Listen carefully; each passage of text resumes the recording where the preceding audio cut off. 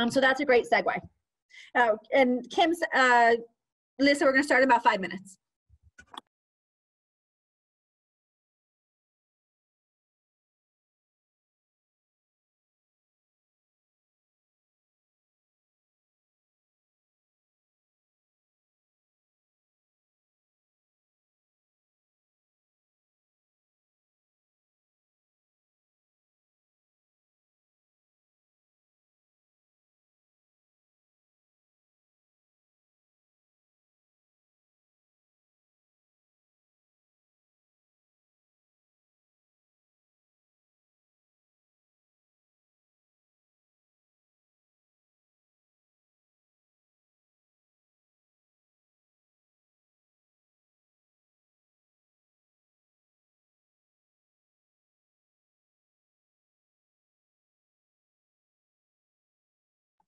Listen, Kim, I just made you co-host of this next presentation. So, um, so I don't know if you have to accept that, but you're both now listed as co-hosts. Just in case you want to share something, you now have controls to mute and unmute and share.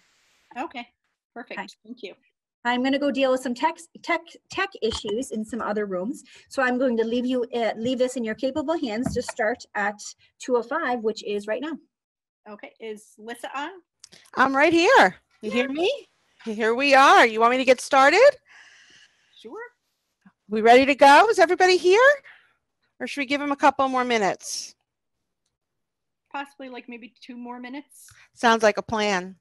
I think there were 64 registered for the class. Right. I think we're down. Yeah. Let's give them a few minutes. Well, at least people don't have to commute. Exactly.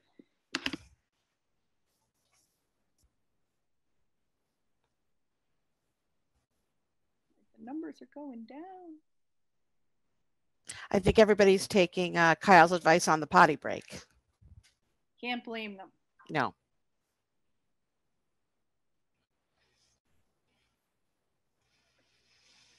Right. I- Um, during the workshop, we can probably, all three of us can, oh, and there we go. Yep. Um, we can take a look at the, um, chat just to keep up with it. Sounds good to me. Okay. Oh, my chat covers the entire thing. Yeah, mine does too.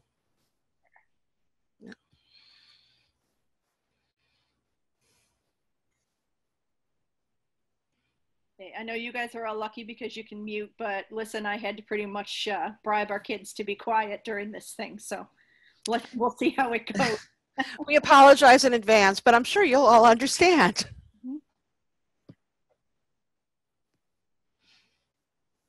Okay, we can probably get started. Okay. So let's do this. Um, so we're going to start in the beginning by Kim and I are going to introduce ourselves and tell our story. And then we're going to get into the crux of the workshop, which is why SEPTA and the importance of SEPTA. And if you don't already have one, how you can get one. So first I'm going to introduce myself. I'm Melissa Zukoff. I'm the special education specialist for the New York State PTA. I am also a past president of a SEPTA. So I understand and have great passion for what SEPTAs do. So I actually got on the SEPTA path when um, my son started attending uh, preschool. And because he was in a center-based preschool, I really had no connection with the other parents in my neighborhood. So I wasn't able to make those friends, and I would see them all going to the same camps and the same schools, and he didn't. And it was very difficult, and it certainly is isolating, and I'm sure we've all been there. And then what happened was he went into kindergarten, and I didn't really know a lot of parents, and he didn't know a lot of children because they had made those connections in preschool and in local events. Um, but what happened was I joined SEPTA, and it was the director of pupil services who told me to join the SEPTA. And I am so glad that she did that. And I'm going to tell you all that right now. That is probably one of your most important outreach contacts is the director of pupil services or your pupil services personnel because they know who's coming into the district and they know who could really benefit from what SEPTA has to offer. And so I went to the first meeting and I was amazed at this community that I found all these other people who were also dealing with what I was dealing with, who weren't judgmental, but in fact were offering guidance and advice. And it really was life changing. And then all of a sudden, I learned how to advocate. I learned how to fight for what I needed, what my child needed. I learned that I was allowed to use my voice, that you could still be nice and still be very strong about what you needed to get done. And that's a hard lesson for many of us who were raised to always be good girls or nice. So I actually got so much from that. And then the next year, they nominated me to be on the board because that's how it works. And then eventually I became president. And I took advantage of every training that the PTA offered and every training that I could get online that I could find out about that the state offered. And then I took the district up at that time. That's when a parent member was required part of the CSE. Um, they sent me for that training and I became a parent member. And through all that, I learned about the rights my family had, that my child had. And I also made a lot of connections with people in the district. So when I had to advocate, I knew exactly who was involved at what step. And the most important part is I made friends and I made contacts because even as we our children grow and they learn new skills, you know, there every step in life brings you more challenges. So now I have three children, and that child's 16. And with the teen years brings a whole new host of issues. And I am so glad that I still have those parents who started on that path because we could still communicate and we could still talk and we're still all very active. But the most important thing is that we're all advocates and we're all parents. So I'm obviously very passionate about this what SEPTAs can do and what the differences they made in I know in my child's life. And so I just am so happy to have the opportunity to share this with other people. So now it's Kim's turn. Okay. Um, Kim Blasiak, I'm the outreach coordinator for New York State PTA. I have four children, um, one with autism, one who was diagnosed about a year and a half ago with ADHD, executive functioning, and anxiety. And my experience with the SEPSA, I'm currently a SEPSA co-president. So um, we moved to a new district five years ago and knew nothing. And I just thought it was very strange that no one talked to each other. Like you, if you would ask a question, you didn't know who the other parents were. And no one said anything about their experiences. And I thought, well, this is kind of odd so being from state PTA um, and going through the state PTA process, I was able to start a special education community, or I'm sorry, um, committee within our council. And then we chartered a SEPSA through that because we just, once we kind of sent out a notice saying, okay, we're going to start this committee with the intention of turning into a SEPSA, parents came out of the woodwork. And not only did parents but teachers did too because it's like all right we don't feel like we're getting enough support with this type of training and that type of training and what can we do? And it was great. We we chartered and it just opened up a whole kind of opportunity for us because we felt that we had one voice eh, not to be corny but it was nice to have that camaraderie with the other parents and even the teachers. Like we have special education teachers and gen ed teachers coming to our meeting saying, okay, what can we do? Or if you're having a training on this, can we come listen? Because there's there's really so many different facets of education nowadays that it's really hard to get that specified training. But it's something that has kind of branched out. It's given a lot of people a voice to advocate. I've seen people who don't want to say anything turn into a very huge advocate for themselves and their children just because they've always been afraid to speak up thinking oh there's going to be retribution or something but it's it's been a great experience and we're still going strong so it's uh, SEPSAs are a little bit different from the regular PTAs or Gen Ed, um, and Lissa will go through that. But yeah, that's that's my story. I think it's a great story and thank you for sharing. So we obviously have a lot to say, but before anything, just keep in mind, because I, am sure we'll have a lot of questions, discussion at the end, some great, you can always reach out to Kim or myself, um, special education or outreach after this at NYSPTA.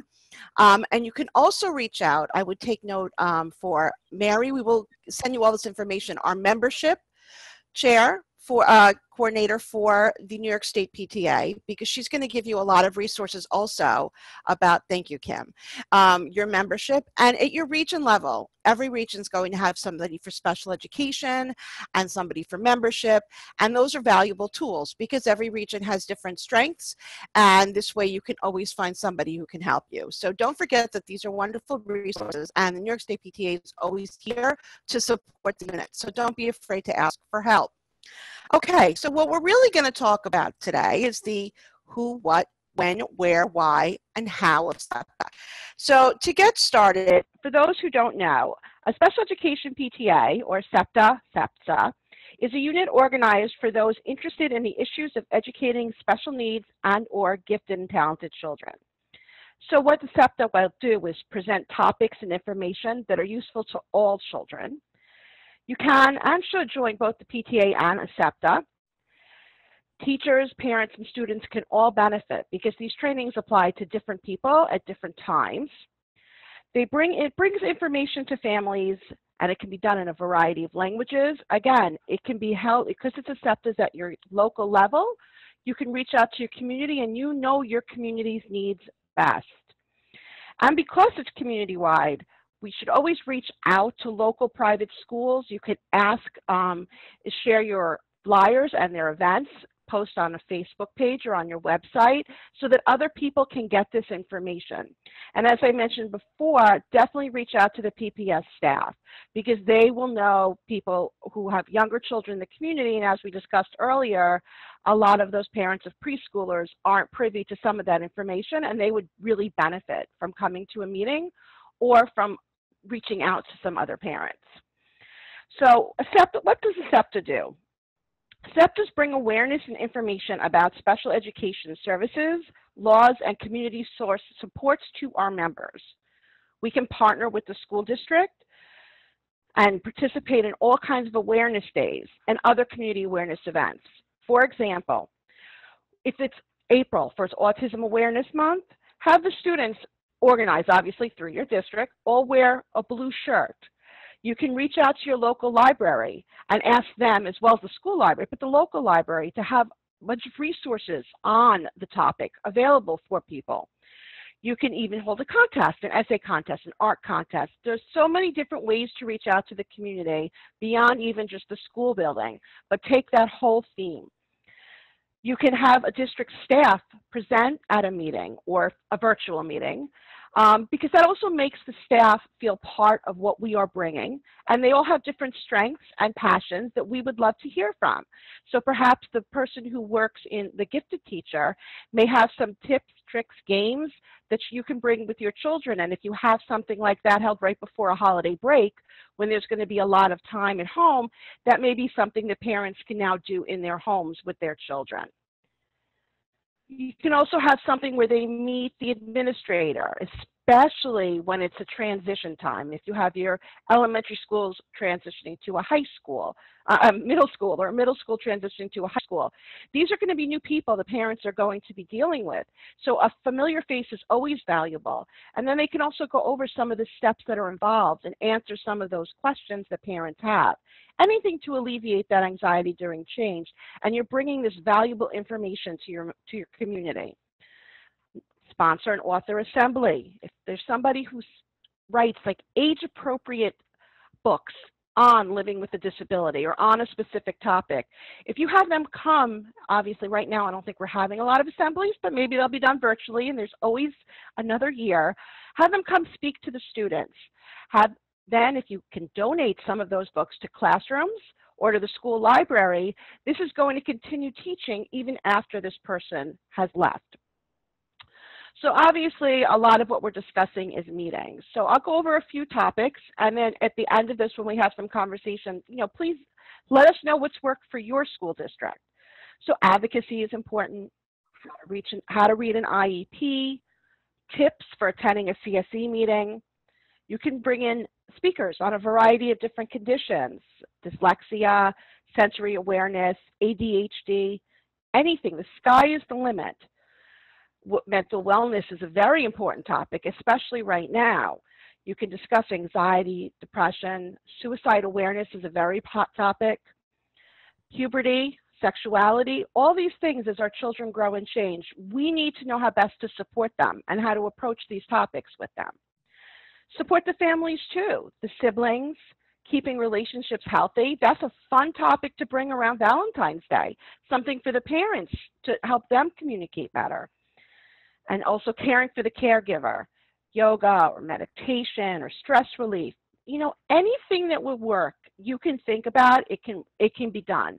And as we've learned, there's a lot that we can do online and virtually now. Things that we never thought could be done virtually can be. So, when does SEPTA, just when does SEPTA meet? Well, all SEPTAs conduct their regular business during the school year just like any other PTA. I suggest you offer both day and evening meetings to ensure families with varying schedules can participate. And if, even after the pandemic is over and maybe we're all meeting in person, think about continuing to offer virtual meetings. There are many parents for childcare is an issue where they can't get to the meetings, but they would really like to receive that information and they would like to be a part of it. So definitely see what you could do to reach out to them in different ways. You can also share information in different ways. You can do it on your websites or social media, email. Again, working through school personnel because they are really going to be the people who are going to find your newest members. You can meet anywhere a PTA meets. So if we're in the school, most schools will allow you to meet, but if not, some uh, SEPTAs, because they're district-wide, are uncomfortable meeting in a school or they rotate among different schools.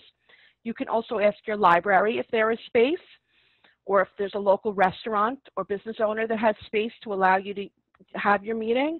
You can really reach out to the community and they're very supportive because everybody wants to work together to the benefit of our children. So we've discussed a lot of this and really, so why do we want a SEPTA? Well, I think we pretty much know why we want a SEPTA because SEPTAs are designed to build strong partnerships amongst parents, teachers, administrators, existing PTAs, and the community for the benefit of families and children receiving special education services. And it's important when we say existing PTAs because it's not an either or, it's a both. We all need to work together. We can enhance that community support. We can increase that communication. We can advocate for our most vulnerable learners.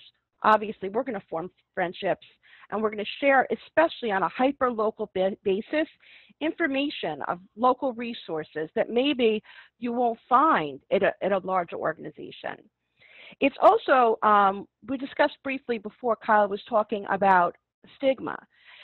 We may have more of a stigma than our children do because in the classroom, the children are aware of who has an aide and who's getting pulled out for some help and who's getting speech. And most of them really don't notice. It just is a part of the day. So I think a lot of it is also when you're meeting with other parents in the similar scenario, it helps you to kind of realize that this is just every day. And this is nothing, there's no reason that you could not reach out to more resources to support your child, but there's absolutely nothing wrong here. And that's the most valuable lesson you're going to learn. So I think the next step now, we've realized how wonderful SEPTAs are, um, but we want to know if we don't already have one, how do we charter a SEPTA? Well, fortunately, we have Kim, who is our NYS PTA Outreach Coordinator, who's going to tell us some tips about that part. Okay, so how to charter a SEPTA. First of all, and I have, sorry, I'm, I'm toggling between two different screens for my notes here. Okay, so the, the process to charter a SEPTA is the same as chartering a, a regular, I guess a regular, and as a special needs parent, regular in general sometimes come with the air quotes, um, a regular or general PTA. So the SEPSA has to support the PTA's mission, value, and basic policy and position statements. Um, your members of a SEPSA, it could either be um, in one building, in multiple buildings, district-wide. It could be multiple districts. Um, ours is a community SEPSA, so it's not necessarily just the school district because realistically, um, special education tends to encompass ages 3 through 21. So we are a community SEPSA open to anyone. We have members from other districts as well. Okay. And one thing that has changed that I've been made aware of is when, and I'll go through the process as well, but when you are chartering, you used to have to have an administrator from a school building sign off on your charter. Well, that's not the case um, with this. So, of course, you want to have the administrators on your side and you want them to be able to sign, but according to national, they don't have to. So sometimes that really alleviates a little bit of stress because I'll be honest, there are some districts that think that SEPSAs are just kind of out to, to form this alliance against the district um, until they really get to know what a SEPTA is and their their fears are alleviated a little bit. It tends to be tense sometimes at the beginning. So, I mean, we're really just an advocacy group. That's that's what the administrators find out. So, um, also, when you charter a SEPSA, if you want to charter a SEPSA, um, we'd recommend looking for other SEPSAs within your area just to maybe talk to them. Um, just for example, our unit also um, talks to uh, to in general two other SEPSAs in our area. We've invited them to our back to school picnics. We've been invited to their presentations. They've been invited to ours it's nice because you're not reinventing the wheel you're all in the same group and we're able to just kind of bounce things off each other and get together. So i'm going to bounce over to my other screen. Now the process for chartering first of all you're going to show your interest and you're going to contact state. You would contact me or if you need to contact your region director and say hey i'm thinking about chartering a septa and the region director would probably get hold of me or if you contact me i'll talk to you a little bit see what what you're thinking and we would set up an informational meeting. So the informational meeting would be for everyone you'd send something out and just say look we're thinking about starting a sepsa. Anyone who's interested or has any questions come on in and we'll discuss it. Excuse me. So then after you have your informational meeting you're going to have what's called the pre-charter meeting so that is going to be where your bylaws and your nominating committees are established, where you start getting all of your ducks in a row, per se. So you're going to give notice for your charter at that point, and at the state level, we'll start taking care of like the unit code numbers and things like that. So you're not on your own to try to figure all of that out. We walk you right through it. It's not just a, hey, we're going to throw you in situation. So then two weeks before the charter meeting, we as the state would start to get our information together that we're going to bring for you and then you have your charter meeting. So that's where you're going to have your 25 members because you need 25 members. Memberships will be sold there. You're going to have your election of officers. They'll be installed. Your charter application is completed and signed. And i have to say it's i'm corny though. It's kind of cool when you get a charter card because now everything is electronic and the, the new charter cards are actually like a hard copy, like the first card of the PTA. So you think that our PTAs have been around for so many years. So I, I just got excited when we got ours. It was a cool thing. Um, and then you just go from there. And the thing is, it's we're not as a state level leaving you just to kind of figure it out on your own. You'll have support. Like Liz is there to answer questions. I could answer any questions. I mean, there are a ton of us um, that would be able to answer questions. In your region, you have your region board that can answer questions, but you're not alone. And it, like Lissa was saying, that's one thing with a SEPTA, and I see SEPTA and some of the names here. You're, it's it's nice to be with other people that get it, because there is um, I, am in many, many PTAs and then the SEPSA as well. And there's a different feel as a special needs parent when you walk into a SEPSA because you can kind of let your guard down a little and it's like, okay, they, they get it. Like you can, you can just say what you need to say. They, everyone gets it and they understand. And sometimes that's really hard to convey to other people who aren't in the same situation that it's nice just to have that group where you know, like someone could look ragged and have a horrible day. And it's like, yeah, we've been there. Not that anyone else doesn't, but they just get it when you're having a hard time. Like with there are days where my son is screaming all day long. And other people say, oh, my kid screams. And I'm like, no, no, no, it's not the same. So it's just that camaraderie too that when people ask me why why would I form a SEPSA versus like maybe a special education committee, there's nothing wrong with a committee. First, let me say, but the nice thing about the SEPSA is you're your own entity. You're not part of the other group where sometimes it might go by the wayside a little bit because it's a committee. You're able to actually concentrate on your own unit you can fundraise for your own unit. You can have events with your own unit. You don't have to worry about, okay, is the, uh, if you're a committee, is the council or is the unit going to approve this event? You just, and, and I'm saying you're going to have horrible events. I'm just saying sometimes you're limited to events. But it's just nice to have your own entity for, for the students and for yourselves. So it's it's not the end of the world to i mean i know some special education committees who are running really well. Um, we personally started in our district as a special education committee but that said we started just to kind of get our foot in the door and made it clear that we were going to be utilizing the, the committee to start a sepsa. So but uh, hopefully i kind of explained it's how to charter it's not as hard as it sounds. It's it's not really as daunting as it sounds. Um, we I, I know one thing that we were worried about at our unit was having the 25 members.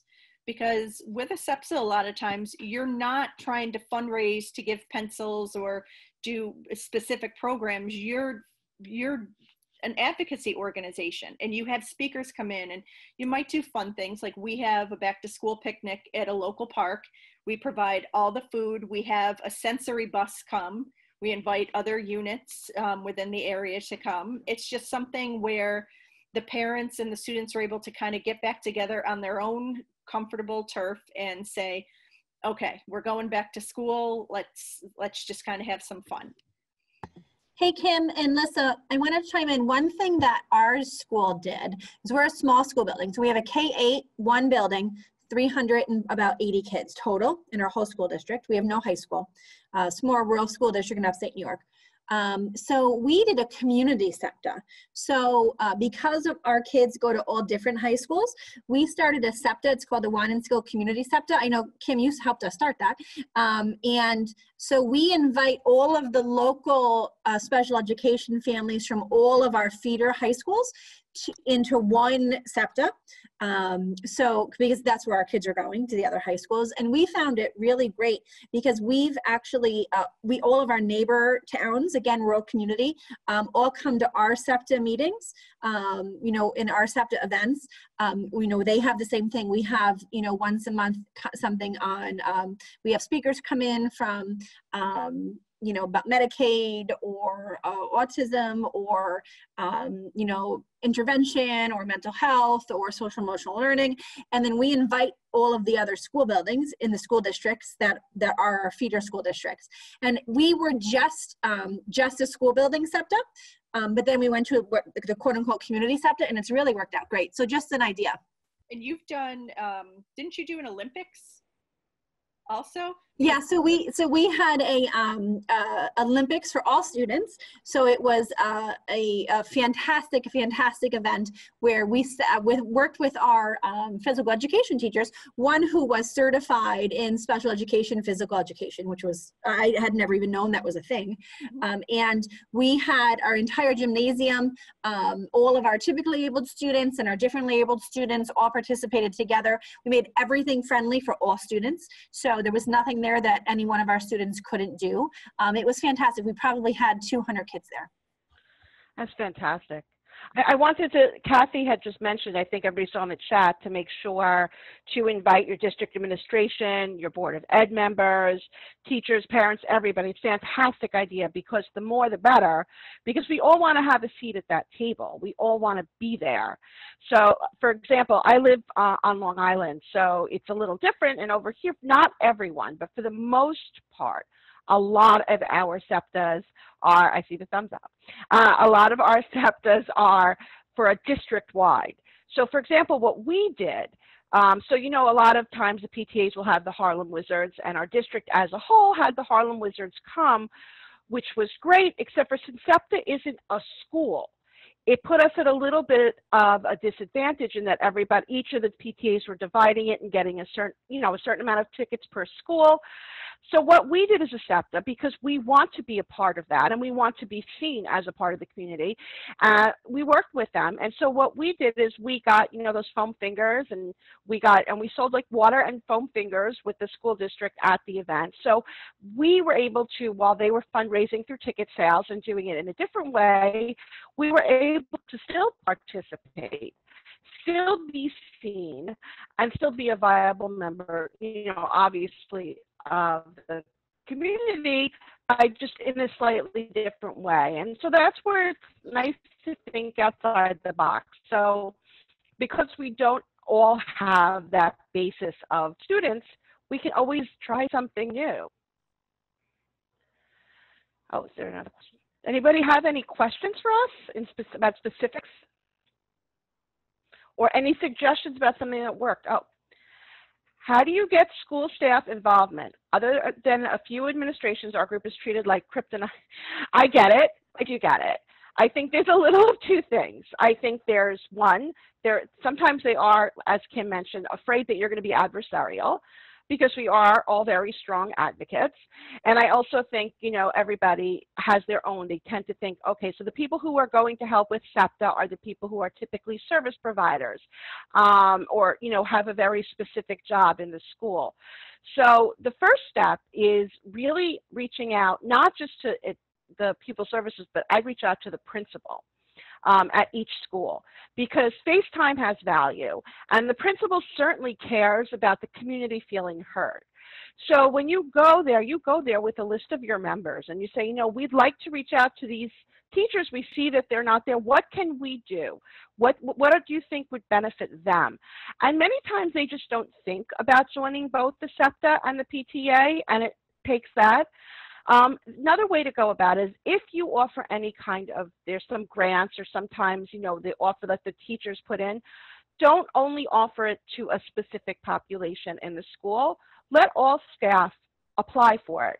For example, there may be something that the gym teachers that are looking for that could all children could use, but it could maybe benefit, you know, special education population. You never know. So if you're taking applications or you're opening something up, ask the teachers, do a survey, see what they're looking for, but don't limit yourself in who you ask, and then hopefully that will open the door. And somebody else mentioned that they, I just saw in the chat that they had a suggestion. Yep, Jamie. That was me. That was me. um, I actually also come from Long Island. I'm from Plainview, Old Bethpage School District. So some people might know that district, but not.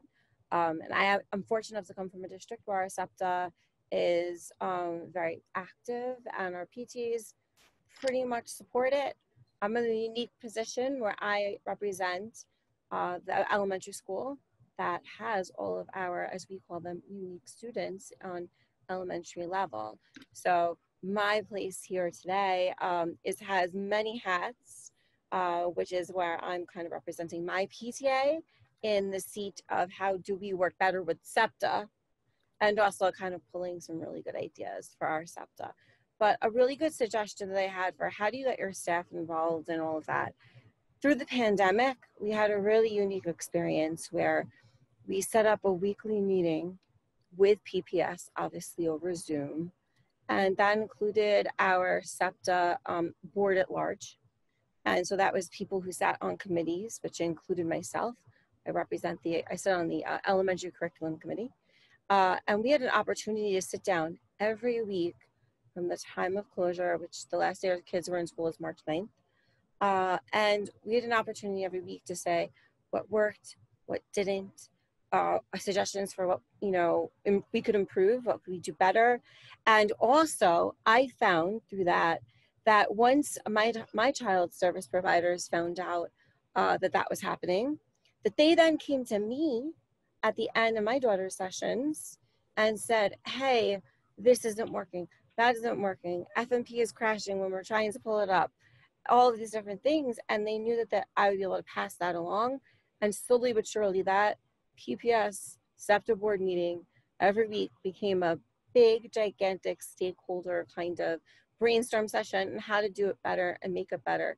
And it was so successful that it's going to be continued regardless if we're in building, out building, and whatever going forward. And I highly encourage anybody, wherever you are in your process, that is an amazing place to go and also to encourage teachers to be a part of because it's a wonderful resource for everybody all around, including from PPS top down. I can't even tell you how many ideas that we see, we mentioned months ago, that are now coming into our reopening plan as a result for our children. And so that was just, it was an amazing experience. It's going to be continued, and I highly, highly, highly recommend putting it out there and, and pushing for it because it's really, really helpful. Thank you so much. That's that's really very valuable.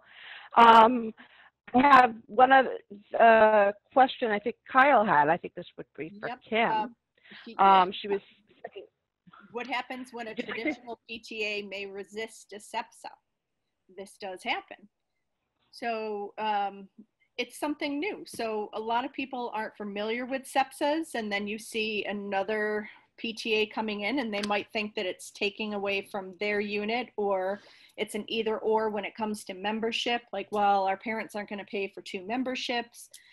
It doesn't have to be us against them. Like we need each other in order to make this work because we want those PTAs and we've suggested and we've seen these um, SEPTAs who want a charter invite the the PTAs in and say, look, we're part of the community, you're part of the community, we need you.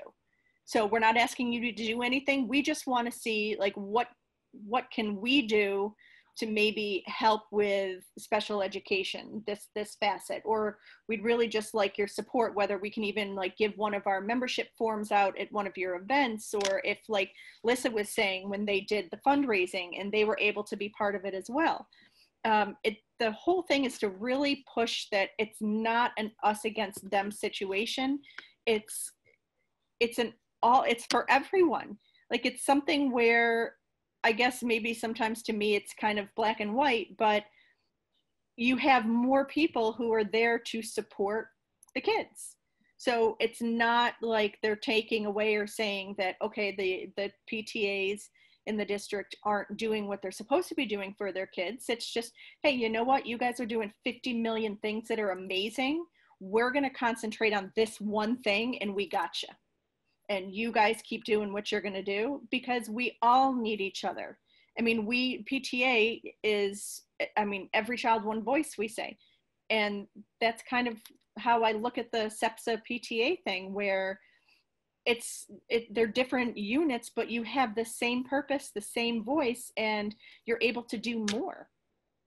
So, because yeah, we have definitely seen units where they get very concerned that it's going to interfere with their fundraising dollars and it it doesn't it, it really doesn't i mean i just I, I can't even say anything else except for it it just doesn't i mean any of you who out there who have been part of a SEPTA know that it's not going to cut into their budgets so Can I, can I say something? sure Um, we, we're, um, Monroe, I'm part of Monroe Woodbury, um, SEPTA, and uh, I'm no longer on the board, but, um, it's a, it's a huge district and SEPTA was a se- uh, district-wide PTA. And we did run into that years ago, way back when. And, um, we worked, you know, uh, because there's, I think, seven or eight PTAs in our district, we have council. And what we ended up doing between all the PTAs was making it, you know, because people have siblings and whatever, making it so that each PTA, when they did their fundraisers, it didn't conflict with another PTA's fundraiser. And, um, one one of the big things that our SEPTA did was we had we would have once a year a large speaker in, that was usually our first meeting. And we would try to gear it towards, um, you know, the whole district because there's a lot of, a lot of things. There's a lot of kids out there with different undiagnosed issues. And a lot of the um, speakers, it was, it was pertinent to all, all students, you know, all students, parents, teachers, and we would get, you know, parents who weren't part of SEPTA, teachers, not just special education teachers, but, you know, doing things that benefited the whole district. Um, That, you know, I- think that what I really love about what you said is how different children, now it's not limited to only one part of the population. And I think especially now, because with the distance learning, some children who may have appeared completely, you know, as typical learners, all of a sudden parents are discovering that maybe they have some additional needs. Um, so just before we get to the, the question, the big pop-up, I think a big issue for many of your uh, SEP, your populations, and you may want to think about bringing information, is on assistive technology. Um, because I think that that is a very big issue. Parents may not be aware of what is out there, um, of what their computers can do, or what the school has available. Or, and I think that that is something that um, shouldn't be limited to only those who are, somebody shares that information. Sorry, my internet got wacky, but now it's better. Um, so I had a, a saw a question. Yep, there are two. Um, so how do you guys? Do you see the one from Jen? Yep. Do you- how do we get our district to provide education on different disabilities to all children? Which is a fantastic question. Um, so, I mean, I'm, I'd love to hear some of what you guys have to say. I, I think that we have, like, I have found in several PTAs that, again, bringing in books, but not just the book, the book, but a speaker, somebody that they can actually connect with. Um, especially if the person who is presenting um, is actually somebody with a disability. There's an organization here on Long Island um, that does, um, they help find jobs and they offer services for families. And they came to the SEPTAs and they came and spoke and they brought members of their community. And that was really very powerful because you start to realize, you know, we're all human. And it, it really brought a lot of things home. And I think that also, obviously, um, working with your district to understand that um, their children, your children's classmates may or may not have a disability. Not every, just they, you know, not every child is in a wheelchair. Um, is this has, you know, is not a dis- every just because a child's not in a wheelchair does not mean that they don't have a disability. And I think it's just really important that we work with the district because they want to share that information. And bullying is a big topic right now, and this is a Can't part your of it. father. So, does anybody else have a suggestion of something that they had done in their district? Oh, Kim. I do. I Um, do. One thing. Oh, that- go first. Go first. Go first. oh sorry one thing that we have done um, actually just very quickly my son went to developmental kindergarten. So it was at a different school. So then when he was in first grade he was in a different elementary school. And one thing that i noticed is they never integrated the kids into the building properly. So here's my son flapping like crazy like running around the room and everything and nobody understood. And i finally had a parent come up to me and say I'm really sorry, but my son just like he is so flustered by your son every day. And I don't mean to be mean. I'm like, thank you for telling me because I didn't know how it was affecting other kids. So since first grade, I have gone in every year, and only one year has my son been in the room when I've done it. Um, and it's his choice. And I have read a book like what autism's about. I have fielded any questions. I pretty much opened Alex up because I wanted people to see, okay, yes, there's something different, but this is what it is. And they would answer, they asked me questions like, did he get autism by falling out of a tree? Does he have super hearing? Does he like all of these questions? And then all of a sudden the kids were like, well, wait a minute, I do this too. I do, th- and, and I've done this. And we found that every year that we that we did that and I went up, it helped the kids to where kids who would be in the same class the next year like can you tell the ice cream story where he heard the ice cream truck in the back of the neighborhood with the windows down and and they were going nuts. And we ended up in our district. Um, I worked with some of the special education teachers at the middle and high school levels, and they have started actually giving presentations on different disabilities throughout the district in the same way. Because realistically, you need to start young so they understand instead of starting in high school, because, like it was mentioned, bullying is, is real. So even like getting the parents involved or having someone come in just to humanize and I hate to say that word, but that's really what it was. Until the kids know what it is, it's kind of the fear of the unknown. And I just, uh, to add exactly what you said, when I did something similar, one of the kids asked me, is it catchy? Um, so that is something that, you know, as simple as it seems to us, but to kids can actually get the truth is important because it gets the honest out there and they get to learn, meet the child just for the child. So I'm sorry. Um, Jamie? sorry, my husband is texting the shopping list. You know how it is.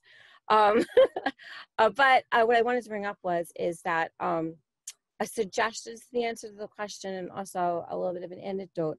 Um, my daughter's a fourth grader, and in our building, our elementary school, as I said, houses all of our elementary school leveled unique students, as we like to refer to them in our district. And our kids are insanely protective of them. They come into that building as kindergartners, and we are immersive from the start. And those kids that are not immersive um, are visible everywhere in our everywhere, whether it be recess, whether it be gym, they're everywhere from the start. These kids know. And I remember last year when the kids were asked, elementary school kids, you know, what do you see being like an issue coming back to school with the environment we're having now? Like, well, what are what are our special kids, what are our unique kids going to do? How are they going to know what hallways to walk down? How are we going to make sure that they don't touch each other so they don't get sick? Our kids were more concerned about our unique students than they were about their own self health or safety. And, it exactly proves the point of if young, you get them young, completely immersive, it blurs the lines, absolutely. And it's amazing to see our kids just, the bullying does not, it just doesn't exist because it, to them, it's just that there's no difference. Absolutely no difference. And so, and which is great, it's beautiful. And we, we every single year we have an anti-bullying assembly and we're very big on that and we're a no place for hate school which helps support that but having the kids come in those little babies and kindergartners and it's just right there abnormal. This is it. This is society. This is how it's built. They, it's absolutely, it's another day ending in Y to them, and it's beautiful to watch. Uh, as a suggestion for how do you educate kids, uh, cultural, your cultural arts person on your gen ed PTA, as sometimes it's referred to, it can be your best friend. Speaking as the VP of Cultural Arts, and it this is the second time I'm taking this position. I always make sure that every single program is fully inclusive. And I always make sure to bring in one program that has, I would say, about a 75% focus in on special education. So that way our kids are A, see everything is inclusive, of course, and B, something is being brought in that's going to educate them on how everybody can work together, whether it be an anti-bullying assembly that's going to, we then tell those, you know, that the presenter we want to focus anti-bullying on differences between people. You know, sometimes you can always tell when somebody is different. Invisible illnesses, right? My mm-hmm. daughter is special education because she is an OHI. She's had chronic, she's diagnosed with migraines at four, and they're completely physically debilitating to the point of hospitalization. So it's kind of hard sometimes for kids to understand why she needs to wear sunglasses and headphones in class. So we often, not just myself, but people before me and after me, we really focus in on bringing in those cultural arts programs through BOCES. And Lisa, I'm sure you know all about it being from Long Island. Your cultural arts person can be your best friend. And they can, there are so many, um, I was just looking at it the other day, uh, programs on the cultural arts list, whether it be through music, um, you know, you have the Hip Pickles um, and so many other groups that are on there musically. Just, I'm a musician by trade, so that's the first thing I think of that um, can discuss differences, can introduce those things to the kids and many, many other programs, cultural arts, that it's a good first step for bringing it and introducing it That's um, actually for the kids. that's a really great idea, and it's a it's a nice way that they're you know working together, um, the you know for all the children. 'cause I think that is the the key. um, but we're I can't believe we're Oh, yeah, I'm. I was going to say, we have one more question that was on there that I was Go trying to answer a little bit through the messages, but it's, it's a little difficult. So what does the special education committee do? And so what I had written, it's, it can do the same thing, but under a PTA unit. Um, so it can be, it, it, it's kind of like if you have your yearbook committee or your membership committee, you can have a special education committee under that unit as well. And it just, um, it depends on what you want to what you want to do with it so if it's something where like a lot of times not that a, a, committee can't do it but a lot of times a SEPTA wants to bring in the speakers or partner with other units or just be their own entity where they can really concentrate on this where it's they're not trying to pull other people um, and sometimes to be honest it's hard to pull other people for a committee in um, pta with other things it it- and if it's a special needs parent. I mean i i'll speak for myself i have four children. So i kind of like the idea that there's a separate SEPTA because i know that the the guilt in me also would be there if it was just a committee on like one of the units that my children belong to. And i'm like oh i could really be doing this committee that that's for the kids over here but it's special education and i need to do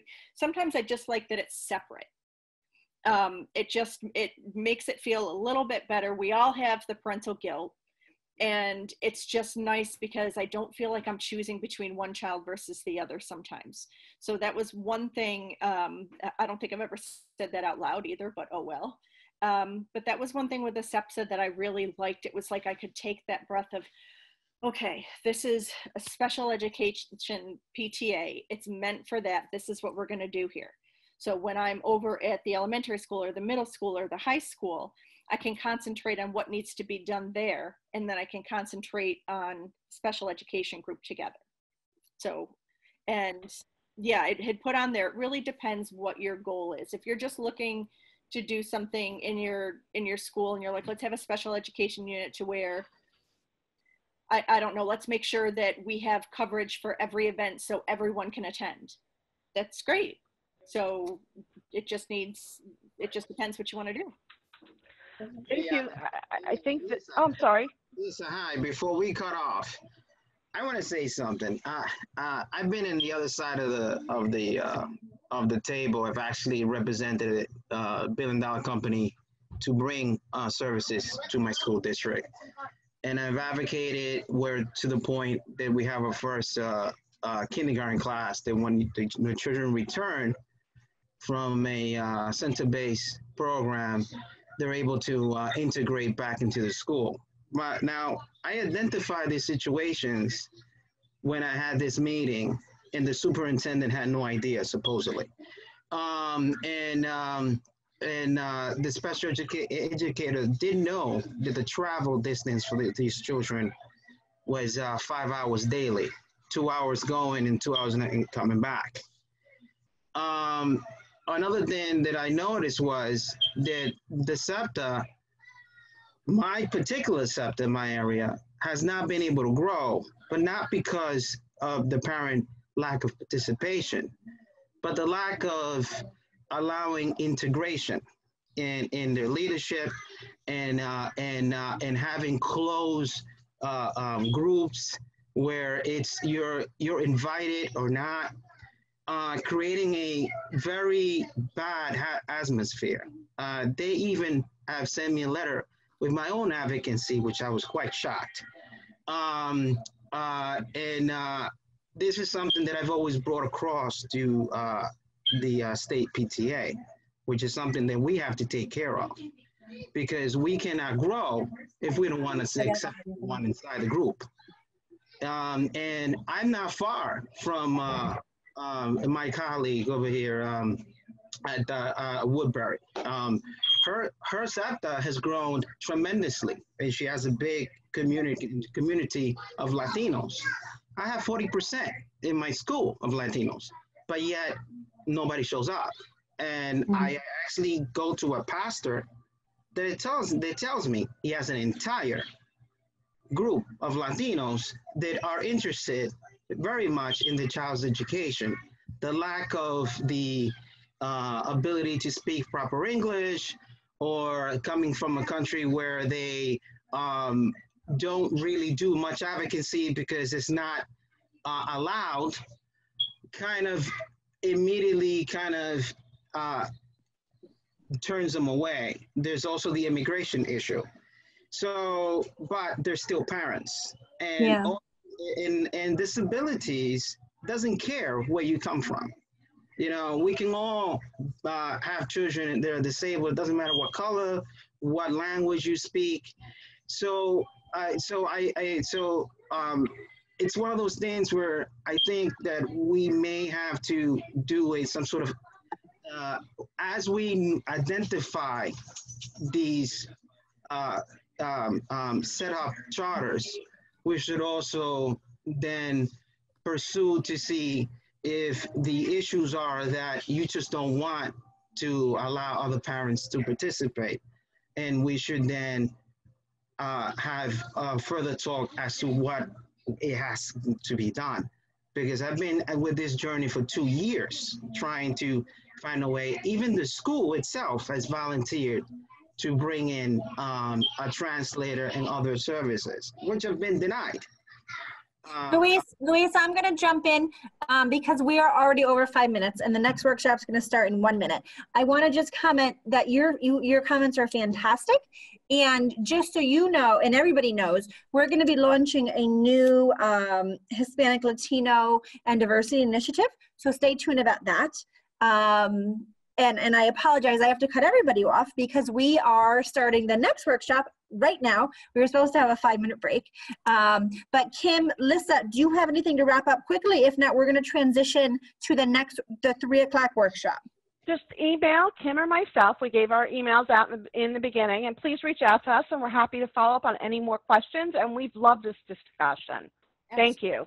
Thank you very much.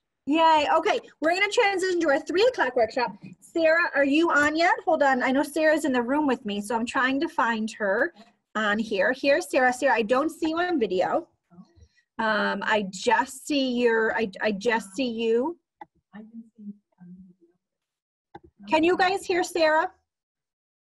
I see Sarah. Yeah. Sarah, do you see Sarah now? Yeah, she's muted. You're sideways. She's also sideways. Sideways and muted. Oh, let's try this. There you go.